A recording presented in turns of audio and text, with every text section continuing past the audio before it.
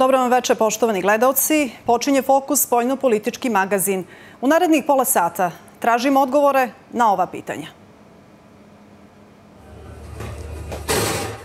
Kako su eksplodirali pejđeri u Libanu? Šta za region znači izbor Slovenke za novu komesarku za proširenje? Kakva je situacija na sjeveru Kosova?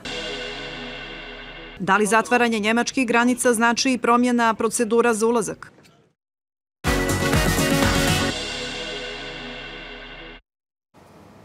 Zadovoljstvo nam je što večeras možemo da ugostimo Ingrid Witt, ekspertkinju za bezbjednost i spoljnu politiku i profesoricu na Univerzitetu u Oslu, s kojom ćemo i analizirati najavljene teme. Miss Ingrid, good evening and thank you for being here. Dobro večer, hvala vam što ste ovdje, hvala vam što ste me pozvali. Are you surprised with the attacks that had happened in Lebanon? Ovim napadima koji su se desili u Libanu. Mislim da je i cijel svijet bio iznenađen. To je došlo kao šok. Uh, to su bili jako opsnažni napadi i desili su se na jedan iznenađujući način. Tako da da, jesam iznenađena. Jer ovi napadi su bili iznenađenje za sve, a ne toliko da će se nešto konkretno i desiti. E, tako je, dakle, svjetska javnost sa čuđenjem i nevjericom je primila vijest o eksploziji pejđera aparata na koje su mnogi zaboravili. Pripadnice Libanske militantne organizacije Hezbollah upravo iz straha od mogućnosti postavljanja eksploziva u telefone za komunikaciju koriste pejđeri, čijom je aktivacijom sinoć stradalo najmanje 12 osoba na hiljade je povrijeđeno. Stručnjaci za municiju kažu da su uređaji vjerovatno bili upokovani sa eksplozivom visokog vojnog kvaliteta. Brojni izvori ukazuju da iza napada stoji izraelski Mossad. No tu nije kraj. I danas su se desile eksplozije, ali Voki Tokija, također kod pripadnika Hezbolaha. Slijedi priča Tamara Ivanković. Gotovo nestvarno zvuči vijest iz Libana gdje je u lančanim eksplozijama pejđera koje je koristio Hezbolah poginulo više osoba, ranjeno 4000 pripadnika te organizacije. Više od 400 ljudi je u kritičnom stanju. Ovo je vjerovatno najgori dan u mom životu kao ljekara. Nažalost, vjerovatno je više od 60% pacijenata izgubilo jedno oko ili oba, imalo povrede stomaka, ekstremiteta, oštećenja na mozgu. Govorimo o mladoj populaciji, pacijentima u 20. godinama. A danas su se mogle čuti nove eksplozije. Naime, gađani su Voki Toki koje je koristila grupa Hezbolah, što je uslovilo nove žrtve i više stotina povrijeđenih. Iako niko nije zvanično preuzeo odgovornost za tu do sada nezapamćenu diverziju, arapski svijet upire prstom u obavještajce Izraela. Jer Izrael svakako ima stručnjake da urade ovako nešto. Mossad je poznat po smijelim operacijama iza neprijateljskih linija. Ima jake obavještajne i tehnološke sposobnosti. A vjeruje se da je izraelska špijunska služba modifikovala uređaje još tokom proizvodnje. Navodi se da je pejđere proizvela kompanija Gold Apollo s Tajvana, koja to negira. Kako ističu, pejđeri dolaze iz kompanije BAK sa sjedištem u Budimpešti koja ima licencu da koristi njihov brend. Vojni analitičar Petar Bošković kaže da je eksploziv detoniran kodiranom porukom. Ovde je klasičan eksploziv, ali e, e, izuzetno jak i to je sigurno jedno 20, da ne kažem i više grama u pitanju. Onaj koji nije odgovorio odmah na poruku, on je bolje prošao u odnosu na one kojima je pager recimo bio u ruci i kad je stigla poruka. Bošković smatra da je riječ o promjeni načina ratovanja. Cyber napadi su u prvom planu, kao što vidite i u Ukrajini je e, istih stvari se dešava, ali naravno e, sajber ratovanje, ovo nije prvi, ovo je samo drastičan primer sajber ratovanja. S tim da dodamo još jedan detalj, a to je da vi ako izađete na darknet, vi ovakve stvari i da ne kažem još gore možete videti, tako da ništa nepoznato za sad, samo što je ovde pitanje tajnosti i jako, jako dobre organizacije. Nije su izostale zabrinute reakcije iz svijeta. Simultane eksplozije širom Libana i Sirije šokantne su kao i posljedice koje su ostavile na civilno stanovništvo. Egipatski predsjednik Abdel Fattah al-Sisi kazao je da njegova zemlja osuđuje bilo kakve pokušaje eskalacije u regionu, a turski predsjednik Erdogan prenio je poruke podrške libanskom premijeru.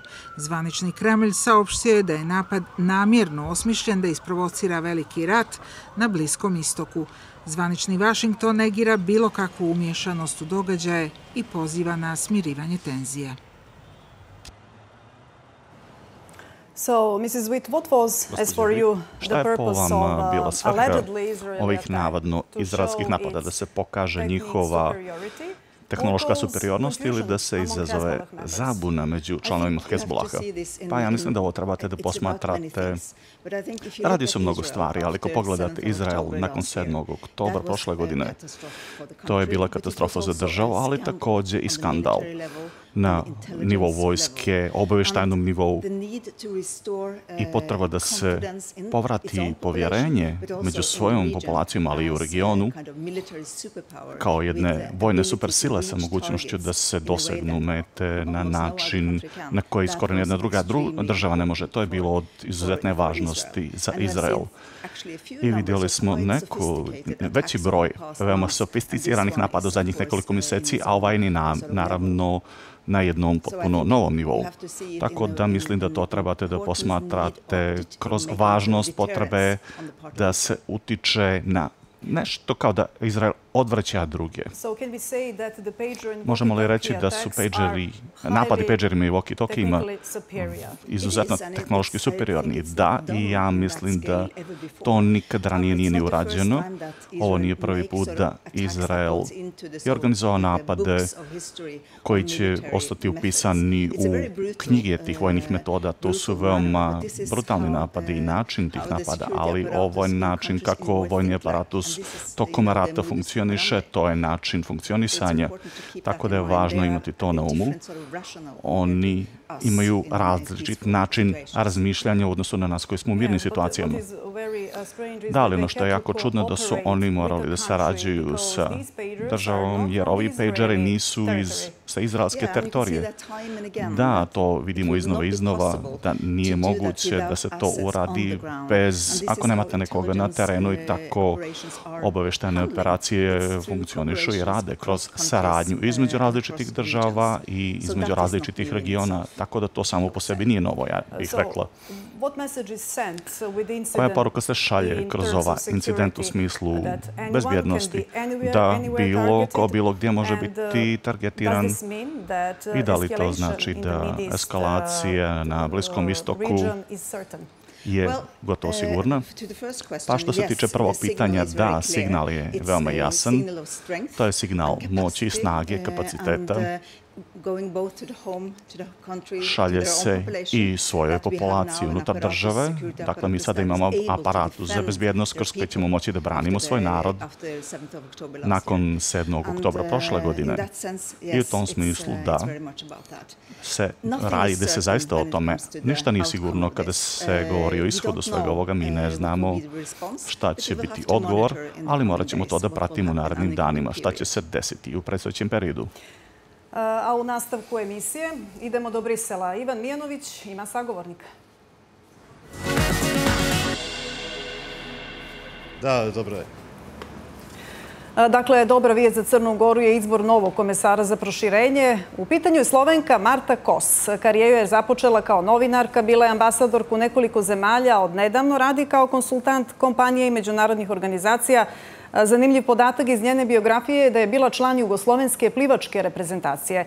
A šta izbor kandidatkinji iz Slovenije znači za zemlje Zapadnog Balkana, u prvom redu Crnogoru, čućemo od Ivana Mijanovića, koji je, kao što vidimo, već sa nama, našeg dopisnika, a on razgovara sa Dušanom Gajićem, dopisnikom RTS-a iz Brisela. Dobroveče vam želim, Ivane. Dobro večer, Jelena, i tebi i tvojoj gošći u studiju, kao i našim e, gledalcima. Da, kao što ste kazala, Marta Kosi iz Slovenije izbor je predsjednica Evropske komisije Ursula von der Leyen e, za komesarku za proširenje i ona bi taj mandat trebala dobavlja u narednih pet godina. Šta to znači za Crnu Goru, ali i za zemlje Zapadnog Balkana? O tome razgovaramo sa mojim kolegom, e, dopisnikom radio televizije Srbije iz Brisela, Dušanom Gajićem. Dušane, dakle, Slovenija važi za zemlju koja je podržavala procesa integracija Zapadnog Balkana. Šta možemo očekivati u ovom mandatu sa Martom Kos um, kao komesarom? Pa donekle je prekinuta ta neizvestnost. Sad konačno znamo ko je e, predložen za taj mandat u narednih e, pet godina. Do duše, još uvek ima neizvestnosti oko toga hoće li Marta Kos biti zaista potvrđena u samoj Sloveniji, a zatim i ovde u Evropskom parlamentu. Ali sam ovaj predlog, ja bih rekao, u njemu ima jedna dobra vest za Crnu Goru, za zemlje Zapadnog Balkana i nešto što bismo mogli da kažemo kao manje dobru vest. Dobra vest je u tome što je e, kandidatkinja za e, komesara za proširenje dolazi iz zemlje koja godinama podržava unazad e, Zapadni Balkan na putu ka Evropskoj uniji kroz brojne diplomatske inicijative, kroz javnu komunikaciju, ali i kroz ovde diplomatske inicijative u raznim situacijama, tako da se može reći da ćemo imati komesara i zemlje koja je prijatelj proširenja i zemlje koja je zainteresovana za region Zapadnog Balkana i koji taj region dobro dobro poznaje, tako da tu ne bi trebalo da bude tajni i iznenađenja. S druge strane, Marta Kos kao e, koleginica, bivša novinarka, kao neko ko je bio šef e, Kancelarije za komunikaciju i portparol vlade, važi za dobro komunikatora, to je ono što čujem i od slovenačkih kolega, to je neko ko je poznat u e, Sloveniji i ko će E, očekivati je umeti da dobro, možda bolje od dosadašnjeg komesara prenese neke bitne poruke. Ono što je manje dobra vest je da je Marta Kos možda dobro poznata u Sloveniji, ali da se ipak radi o nekom ko nije zauzimao nikakve ključne e, pozicije u toj državi. Ona je bila ambasadorka u nekoliko mandata u nekim bitnim zemljama, imala je neke pozicije u slovenačkoj administraciji, bila je čak i kandidatkinja za predsjednika, ali to ipak nije uporedivo sa pozicijama e, ministra, premijera i e, drugim pozicijama koje imaju njene kolege ovde u Evropskoj komisiji. Govorilo se da bi jedan od kandidata e, mogao da bude Valdis Dombrovskis, recimo, On je bivši premijer e, u svojoj e, zemlji, on je bio u nekoliko mandata ovde podpredsednik Evropske komisije.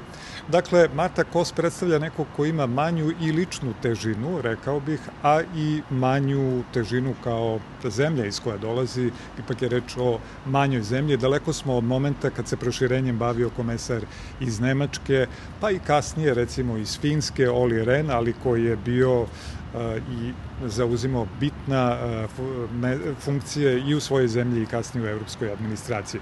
Međutim, ostaje da vidimo naravno kako će neko ko je novi e, popuniti tu poziciju ako prođe kroz sve ove procedure i da li će pretegnuti ovi pozitivni aspekti. Zapadni Balkan i sutra će biti u fokusu ovdje u zgradi Zelena zgradi Evropske komisije Ursula von der Leyen ugostiće lidera zemalja Zapadnog Balkana na neformalnom ručku. Šta se očekuje od tog sastanka i koje će biti glavne teme? Očekuje se najpre da Ursula von der Leyen demonstrira ambiciju vezanu za Zapadni Balkan. To do sada zapravo nismo mogli da vidimo, osim deklarativno na nekim simboličkim i, e, kako bih rekao, na nivou e, retorike ona je nagovestila, naznačila da bi proširenje trebalo da bude jedan od prioriteta. Rekla je da će komesar za proširenje biti isključivo zadužen za tu oblast, da neće morati da se bavi velikim brojem zemalja od Maroka i Alžira do Kavkaza, već pre svega pripremom Crne Gore i drugih zemalja kandidata za članstvo u Evropskoj uniji. Međutim, to su sve i dalje e, e, simbolični gestovi, ja bih rekao. Pre svega, bez obzira na neke konkretne poteze koji su se desili.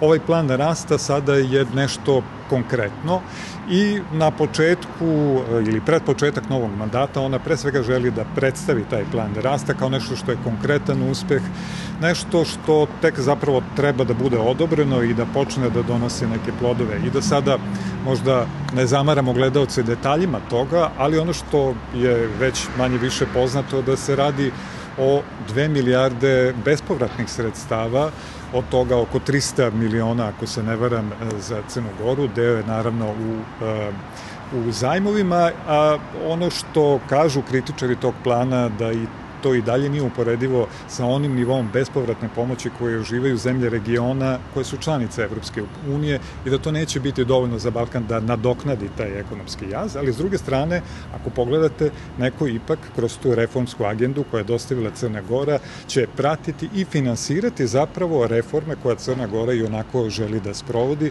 Sada će za to moći da dobije i konkretnu pomoć i da se na taj na neki način pripremi za članstvo u Evropskoj uniji.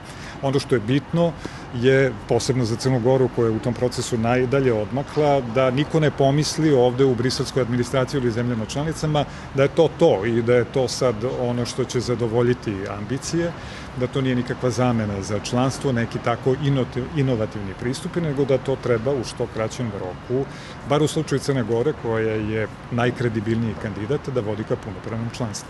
Da, upravo tako. Dakle, reforme su na stolu, novac je na stolu, na nama je da povučemo što više novca iz tog mehanizma. Dušane, hvala ti što si govorio za televiziju Crne Gore. Jelena, evo i za kraj uključenja da dodamo da će Crnu Goru sutra na sastanku lidera predstavljati predsjednika vlade Crne Gore Milojko Spajića. Radni ručak sa Ursula von der Leyen trebalo bi da počne oko 12 sati i 30 minuta. Studio. Ivana, hvala tebi i gospodinu Gajiću. Mrs. Witt, the process of enlargement proces proširenja je nedavno ponovo oživljen. Neki analitičari uh, kažu da je moguće da će to biti politička odluka zbog različite geopolitičke situacije. Šta vi mislite o tome? Mislim da ste upravo, to je jako dobro pitanje i apsolutno politička situacija u Evropi će odlučiti proces, odnosno brzinu procesa i postoji potrebe i razumijevanje u Briselu, a i šire u Evropi da je potrebno da unapridimo ovaj proces do brzanu. Što se tiče trenutnog bezbjednostnog pejsaža, važno je za EU da imamo stabilne regione i da zapadno-balkanske i zapadno-balkanske zemlje su važan, važan dio do prinošenja stabilnosti, tako da je važno i za balkanske države, ali i za Evropsku uniju, tako da da a sve države regiona imaju ambiciju da postanu članice Evropske unije i u različitim su fazama pristupanja. Međutim, Srbije i Kosovo zbog nepostizanja dijaloga čini se daleko su od vrata Brisela. Situaciju je dodatno iskomplikovala blokada srpskih institucija na sjeveru Kosova koja je i podgrijala tenzije. Ništa novo ni nakon ove runde dijaloga u Briselu. Snežana Mirković. Bez iznenađenja u Briselu. Trilateralnog sastanka nije bilo, a glavni pregovarači Beograda i Prištine, Petar Petković i Besnik Bisljimi, kao i ranije, samo su se odvojeno sastali sa specijalnim izaslanikom Evropske unije Miroslavom Lajčakom. Do trojnog direktnog susreta sa prištinskom stranom nije došlo, zato što je gospodin Bisljimi odbio da se sretne sa predstavnicima Beograda, jer smo mi insistirali na temama kao što su zajednica srpskih opština, poštanske usluge i pitanje e, implementacije, odnosno primene sporazuma o mostu. Kosovo je prihvatilo sastanak prema agendi koji je odredio posrednik u dijalogu, ali Srbija je pokušala da nametne agendu, uglavnom za unutrašnju političku upotrebu. Mislim da pravi napredak može da se postigne samo direktnim pregovorima sa Srbijom. A među zahtjevima koje je predsjednik Srbije iznio prije nekoliko dana je i da se pripadnici srpske zajednice vrate u institucije koje su napustili u novembru 2022. što je tada Beograd pozdravio. Vučić traži i raspisivanje novih izbora u opštinama na sjeveru Kosova, gdje su na vlasti trenutno albanski gradonačelnici, pošto su Srbi bojkotovali posljednje izbore. To je i dovelo do nove krize, a sve je kulminiralo 24. septembra prošle godine, kada je oružena grupa Srba napala policiju u Banjskoj kod Zvečana, ubivši jednog policajca. Kosovske vlasti od tada rade na zatvaranju institucija koje funkcionišu u srpskom sistemu, što se i dogodilo krajem avgusta, Od tada Srbi sa sjevera ne mogu da uđu u svoje kancelarije i protestuju. Ovo nije javni servis samo Srba, znači u službi svih građana koji žive na teritoriji Kosmeta. Mi smo bili servis građana koji se apsolutno nije kršio sa niti s jednim propisom koji bi bio Znači, smo radili 25 godina bez ikakvih ometanja i problema. Premijer Kosova, međutim, kaže da njegova vlada ne zatvara, već otvara kancelarije. Nuk po mbyll zyre Naša vlada ne smanjuje ili ograničava usluge, već ih dodaje. Ne oduzima javne usluge građanima, već ih nudi. Koje za zatvaranje i restrikciju vidjeli smo još jednom krajem prošle sedmice. Grupa maskiranih ljudi u prisustvu policije Srbije na granici s Kosovom, ali na teritoriji Srbije imali su ulogu graničnih policajaca i zaustavljali su legitimne putničke automobile da bi provjeravali etničku pripadnost. Ipak, ciljevi tih grupa nije su uspjeli. No Brisel i Washington zamjeraju Kurtiju zbog vođenja jednostrane politike, blokiranja uvoza srpskih proizvoda, ukidanja dinara, pa su Prištini uveli i privremene mjere, zbog čega je ostala bez stotina miliona eura iz Fonda za razvoj Evropske unije.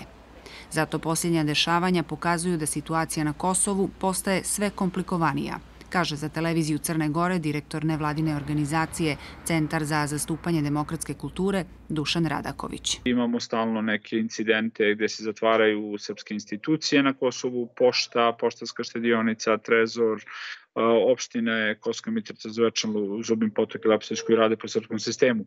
Tako da je situacija vrlo komplikovana, vrlo teška pod sankcijama koje se trenutno nalazi neko vrste sankcija koje se Kosovo nalazi, a i u situaciji smo trenutno uh, gde su 9. februara raspisani izbori za parlament na Kosovu. Radaković smatra da bi učešće srpskih stranaka na tim izborima bilo poželjno. Tih zagarantovanih 10 mesta može da se menja ako nema srpske liste u svemu tome, tako da siguran sam da bi trebalo da Srpska lista učestvuje na ovim parlamentarnim izborima. A to je ovog puta prijedlog i predsjednika Srbije koji će već sutra biti za istim stolom s premijerom Kosova, ali na radnom sastanku koji organizuje predsjednica Evropske komisije Ursula von der Leyen. Da li će biti riječi o nastavku direktnog dijaloga i poboljšanja situacije na Kosovu, malo je vjerovatno, ali iznenađenja su moguća. Jeste li za kafu? Domaća, espresso, Deutsch. Ovoga puta biramo Moku. Izvršite plaćanje od najmanje 20 eura premium Mastercard karticom hipotekarne banke i osvojite premium nagrade Opel Moku, skuter, bicikla, električne trotinete, magično krstarenje Mediteranom i brojne druge nagrade. Poziv na kafu, poziv za nagradu. Hipotekarna banka, vama posvećena. Kad ljeto odlazi, ne tuguj. Otvori nove prozore za nova prijateljstva za nova znanja, nova iskustva i novu tarifu. Uzmi non-stop sada jer dobijaš dodatnih 100 GB mjesečno. I popust na novi telefon. Za nove početke.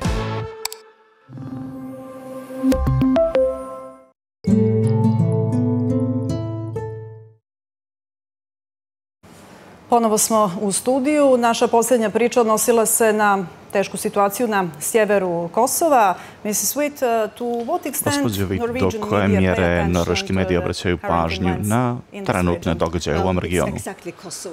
Upravo je Kosovo, uh, dakle, i sva ta situacija koja se rasplasava često na Kosovu, to sve dolazi i do norveških medija. Tako da da. Da li vjerujete kao bezbjednostna ekspertinja da političari s obje strane će biti dovoljno inteligentni da spriječe moguće dalje eskalaciju u regionu Kosova? Možemo se samo nadati, ali mislim da za sada smo vidjeli da ovaj konflikt za sada ne eskalira na neki viši nivo, ovo je kao neki nisko-intenzitetni konflikt koji stalno i stalno traje i crpi energiju iz populacije, tako da se nadam da će oni preuzeti odgovornost i da će EU i međunarodni lideri dati neophodnu podršku, tako da ovaj konflikt onda na kraju može biti riješen i što će naprijediti život ljudi građani našeg regiona, veliki broj njih odlazi u Njemačku na privremeni rad, a mnogi ostaju u toj zemlji, no od ponedeljka stroge su kontrole na granicama.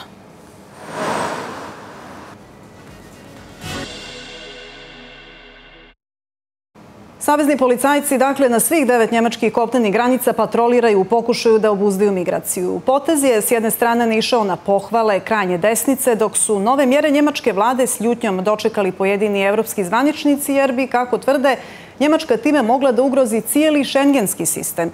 Saznajte u narodnoj priči i minjali se nešto kada je u pitanju ulazak u Njemačku naših građana. Policija zaustavlja automobile i autobuse i kontroliše dokumenta. Sumnjivi se izvode radi obsežnije kontrole. Ulazak u Njemačku je mnogo sporija, prave se i kolone.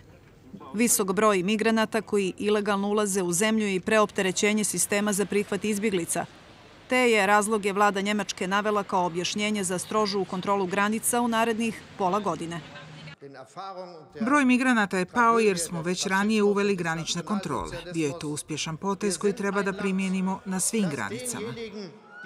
Podaci kažu da je od januara do jula ove godine 34.000 osoba pokušalo da nelegalno uđu u Njemačku. U polovini je ulazak odmah zabranjen na granici. Druga polovina je uspjela da uđe i njihovi slučajevi azila se sada rješavaju.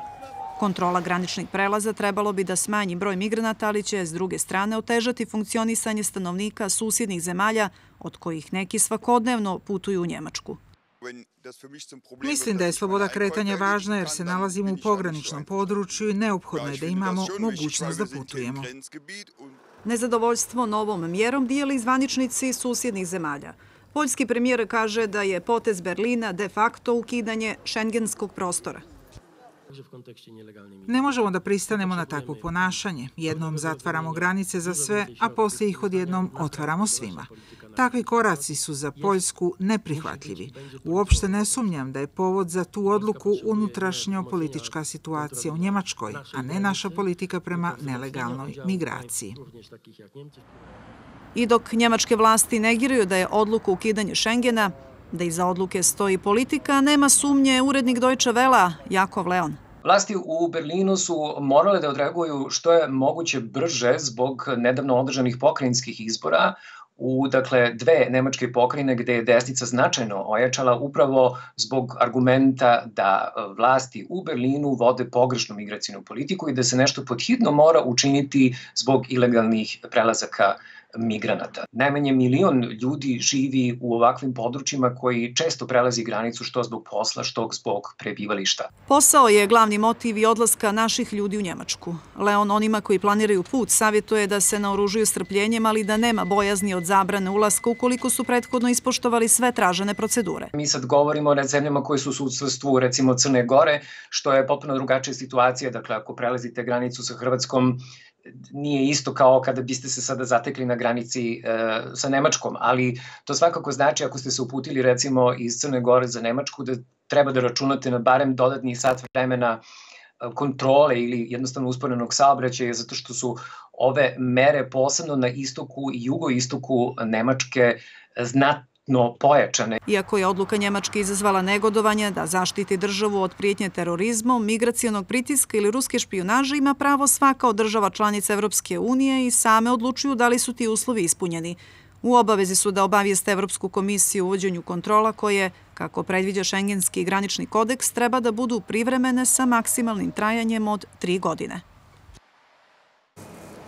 A pitanje migracija jedno je od onih koje su doprinijela jačanju desnice na prostoru Evrope. Upravo i u Njemačkoj prvi put poslije drugog svjetskog rata najviše glasova osvojila krajnje desna ADF. Politički analitičar Fernando Casal kazao je Katarini Radović da populističke partije jačaju onda kada građani imaju utisak da vladajuća elita radi isključivo za lični interes. Pogledajmo i ovu priču, onda se vraćamo diskusiju u studiju.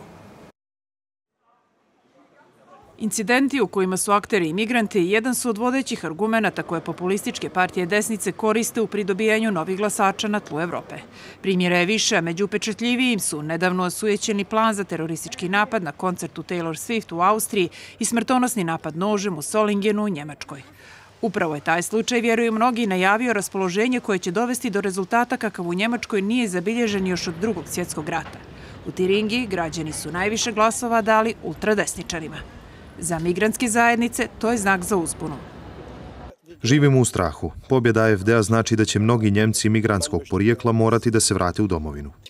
Ja sam elektroinženjerka i odavno radim u Njemačkoj. Moja porodica u Indiji je veoma zabrinuta. Pored nezadovoljstva i migrantski politikama, razlozi okretanja evropskih građana desnici su inflacija, ekonomska stagnacija te korupcija. Iako su povodi različiti, kaže za našu televiziju politički analitičar Fernando Casalberto A, suština problema je svuda ista. Nesposobnost partija establishmenta, mainstream partija, da riješe pojedinačne probleme sa kojima se građani suočavaju. Kada imate složene probleme, oni zahtijevaju kompleksna rješenja. Tradicionalne partije nijesu u stanju da ih riješe, pa se javljaju populističke, liberalne, anti-establishment partije koje nude jednostavna rješenja za složene probleme. Generalno, kada ljudi imaju utisak da partije na vlasti rade samo za lični interes, a ne predstavljaju narod, tada na scenu stupaju populističke partije. Antiimigranska politika koju forsiraju Njemačka, Francuska, Holandska desnica u Mađarskoj je već neko vrijeme aktuelna. Orbanova antiimigraciona vlada dugo je u sukobu s Evropskom unijom zbog restriktivne politike pružanja zaštite izbjeglicama i tražiteljima azila. Poučena tim iskustvom, Unija bi, kaže naš sagovornik, mogla promijeniti politiku proširenja. Lideri Evropske unije se plaše pojave novog slučaja Mađarske, odnosno mogućnosti da se unutar granica Unije pojave zemlje u kojima su populističke partije na vlasti, kao što je recimo slučaj u Srbiji.